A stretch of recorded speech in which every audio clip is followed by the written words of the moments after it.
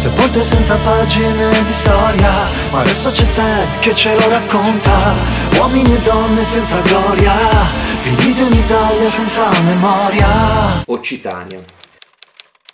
Nel tardo medioevo, nelle terre di Occitania, ovvero quelle che vanno da Carcassonne alla lingua d'Oca, quindi eh, al confine con i Pirenei fino alla Valvaraita, quindi nell'Italia più o meno nell'attuale eh, cuneese, terre che eh, condividono anche una eh, lingua comune che ha dato vita proprio in quel periodo peraltro alla lingua romanza che forse molti abbiamo studiato ai tempi delle scuole superiori riguardo alla letteratura che rappresenta un po' la nascita della letteratura medievale, si era diffusa la cosiddetta eresia catara. Secondo alcuni il catarismo è una sorta di derivazione del cristianesimo, secondo altri in realtà propugna delle verità che sono assolutamente contraddittorie con quella che è l'ortodossia eh, cristiana. Queste sono un po' più, come dire, però dispute dottrinali eh, teologiche che a noi poco importano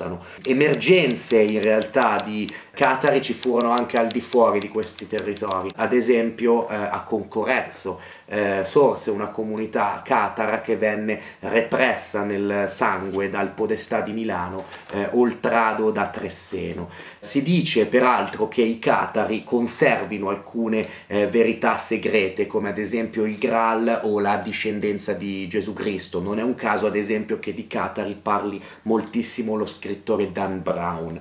La Chiesa rispose come dire, alle eh, richieste di, di, autonomia o anche di semplice esistenza di queste comunità col suo proverbiale pragmatismo, ossia di fatto in numerosi casi tentando di sterminarli del tutto. E vi è un caso eclatante di quando eh, un soldato nell'atto di avvicinarsi ad un villaggio dove eh, convivevano eh, cristiani e catari in maniera del tutto pacifica chiese al suo generale o comunque al capo della sua spedizione come facciamo a questo punto a distinguerli, a distinguere appunto cristiani e catari. E la risposta di eh, questo generale fu piuttosto eh, emblematica e eh, laconica.